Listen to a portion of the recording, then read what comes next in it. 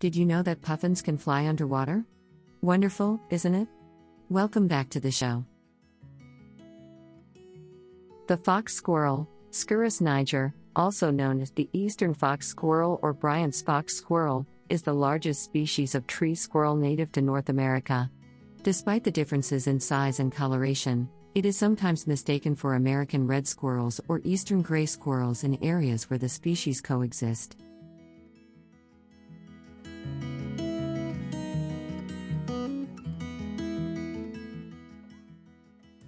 Thank you very much for your patience. I will be looking forward to your next visit. Take care.